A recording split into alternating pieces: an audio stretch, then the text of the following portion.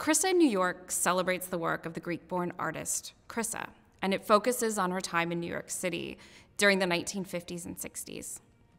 Today, she's best remembered for her innovative use of found metal signage and her pioneering use of neon. When Chryssa moved to New York in the late 1950s, she was fascinated by the city's dynamic and modern environment and was particularly taken with Times Square. She immediately devoted herself to capturing the energy and excitement in her art and began incorporating lights and found letters and signs. She understood New York City in this post war moment to represent a new cultural hub, a modern day Athens. She said that America, as seen in the lights of Times Square, was extremely poetic. I knew it had great wisdom, she remarked. It was Homeric. The show begins with some of Chryssa's earliest works. Some incorporate actual scraps from Times Square, like scavenged pieces of giant signs. And she would sometimes dissect the letters or add neon elements. This process was absolutely radical, and Chryssa was ahead of her time in focusing on the space between art and life. No one was doing work like this. Her art materials came from the street, and her collaborators were industrial craftspeople, neon benders, metal welders.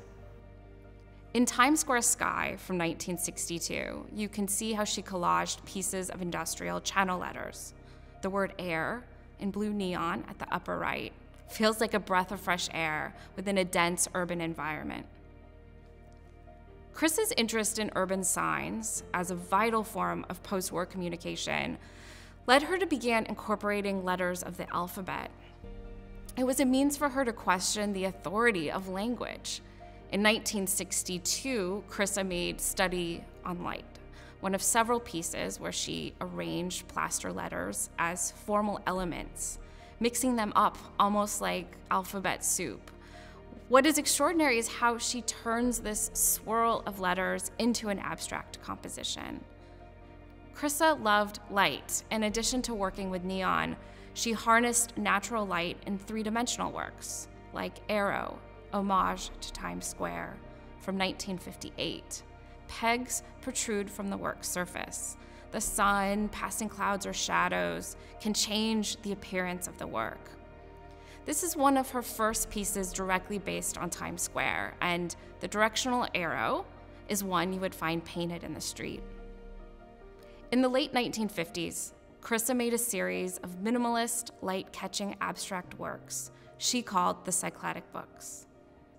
The idea was that light would spill across the blank pages, inscribing the surface like writing. Chryssa was inspired by the reductive form of ancient Bronze Age sculptures from the Aegean, known as Cycladic figures. In this exhibition, we've brought together examples of Chryssa's plaster and marble books with cycladic figures from the Menils collection. We wanted to show the fascinating connections between these ancient and modern works of art. Chryssa also explored language through printmaking techniques. This painting is part of a series the artist created using discarded metal printing plates, sourced from the newspapers, then printed in Times Square. She took the plates, covered them in paint, and then stamped them across her canvas to create an all over grid. Some examples have seemingly endless repetitions of rows and blocks of language, overlaid so they're nearly illegible. Chryssa's newspaper works, with their repurposing of mass media and the marked repetition, anticipate what would later become known as pop art. The show culminates with the gates to Times Square, made over the course of three years in the mid 1960s. The artist considered this her piece de resistance, it represents her career long desire to make work that pays tribute to the spectacle and energy of the city.